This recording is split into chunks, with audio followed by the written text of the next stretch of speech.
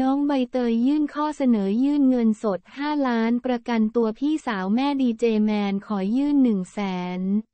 พร้อมคำร้องขอติดกำไร EM คดีแชร์ลูกโซ่ฟอเร็กน้องใบเตยยื่นเงินสด 5 ล้านประกันตัวพี่สาวแม่ดีเจแมนขอยื่น1แสนติดกำไร EM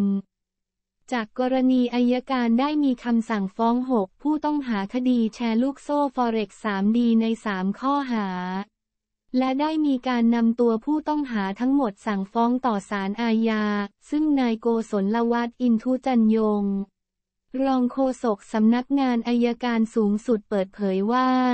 สำนักงานคดีพิเศษสำนักงานอายการสูงสุดได้มีความเห็นคำสั่งฟ้องผู้ต้องหาหกรายรวมถึงนายพัฒนพล กุญชรหรือ ดีเจแมน และนางสาวสุธีวันกุญชรหรือ ใบเตย นักร้องสาว จากคดีแชร์ลูกโซ่ฟอเร็ก3ดีใน 3 ข้อหาคือร่วมกันกู้ยืมเงินที่เป็นการช่อโกงประชาชน ร่วมกันช่อโกงประชาชนและความผิดตามพรบคอมพิวเตอร์ฐานนำเข้าข้อมูลอันเป็นเท็จเนื่องจากมีพยานหลักฐานเพียงพอให้สั่งฟ้อง จากนี้จะนำเรื่องเสนออธิบดีอายการพิเศษดำเนินการต่อ และนำตัวผู้ต้องหาทั้งหกรายไปยื่นฟ้องต่อศาลอาญาต่อไป โดยหลังจากผู้ต้องหารับทราบคำสั่งฟ้อง พนักงานอายการได้คุมตัวผู้ต้องหาทั้งหกคนขึ้นรถตู้จากสำนักงานอายการสูงสุด ถนนรัชดาพิเศษเดินทางมายังศาลอาญาถนนรัชดาพิเศษ เพื่อนำตัวไปส่งฟ้องต่อศาลโดยนั่งรถ ไปลงบริเวณด้านหลังศาลเพื่อหลบสื่อมวลชนและไม่ให้สัมภาษณ์แต่อย่างใด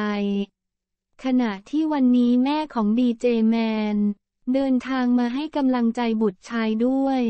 ทั้งนี้จำเลยมีสิทธิ์ยื่นขอประกันตัวในชั้นศาลได้